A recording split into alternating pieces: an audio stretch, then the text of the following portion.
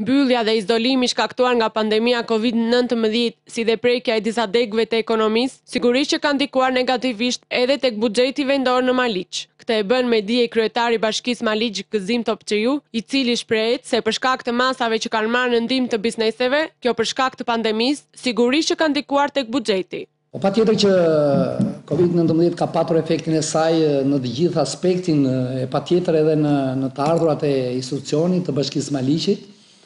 Ne deri tani jemi në një realizim gati 34% të buxhetit gjashtë mujor të bashkisë. Jemi në një situatë në realizim më mirë se një vit më parë, po të marrim gjashtëmujorin, pavarësisht se këtu ka efekt negativ edhe tre muajt e pandemisë, edhe uljen e taksave që ne me vendim këshilli kemi bërë për këtë periudhë, por në të njëjtën kohë vendimmarrja e Këshillit të Bashkisë ka dhënë dhe një aspekt tjetër të uljes së taksave për të gjithë ata që paguajnë brenda muajit korrik, dhe ata kanë një impakt me një ulje rreth shtatë për qind të të gjithë taksave të biznesit, edhe kjo besojmë do të japë